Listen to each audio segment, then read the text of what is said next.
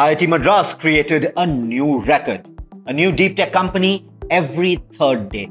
I mean, it's quite literally raining startups at IIT Madras. In the financial year 2025 alone, IIT Madras incubated a record 104 startups. That's almost double than last year's count. So let's tell you about the rise of India's deep tech incubator. This is not just a one off. Over the past 12 years, IIT Madras has built quite literally a deep tech empire 455 startups and counting. So let's rewind a little bit. From just a handful of startups in 2013 to now one of the biggest deep tech factories outside of Silicon Valley. And here's the kicker over 50% of these startups come from IITM's own faculty, students, and alumni. The rest, talented entrepreneurs from across India finding a launchpad at Madras. But hang on, what actually is being built? I know what you all are thinking the same question that Mr. Piyush Goyal asked. More delivery apps? Nope. We are quite literally talking rockets, satellites, electric scooters, AI systems, chip design, space tech, real moonshots, path breaking achievements. Let's tell you about them. Ather Energy built India's premium EV scooters, IPO incoming as well. Agnikul Cosmos 3D printed rocket engines, private launch pads, and microsat launches eminent as well. Uniphore built a $2.5 billion conversational AI giant, world class voice AI as well. Mindgrove Technologies built indigenous chip designs and silicon made in India. There's more. Say GalaxEye, building world's first multi-sensor Earth imaging satellite. Doesn't stop here. Detect Technologies, AI for oil and gas safety. It has clients like Reliance and Shell already. Then there's the E-Plane Company. India's first electric flying taxi prototype is ready from them.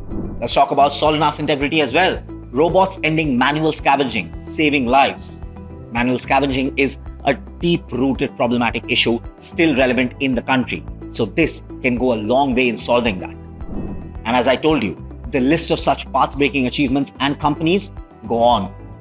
So, is this the real deep tech revolution?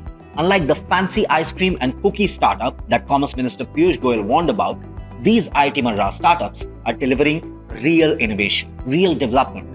They're not just raising funding, but building rockets, robots, electrical planes, homegrown chips.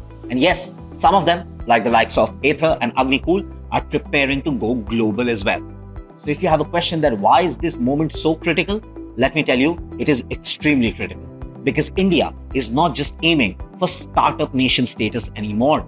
It's aiming for product nation. It's aiming for innovation nation, deep tech superpower, and IIT Madras, it's leading that very charge, one startup at a time, one startup in every three days. Today, India is assembling iPhones. Tomorrow, it might assemble starships, quantum computers, AI systems.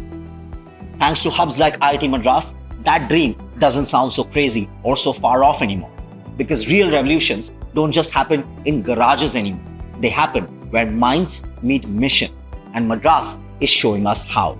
Tell us what you feel about this. If you're a student or say an ex-pass out from IIT Madras, definitely tell us how you feel about this.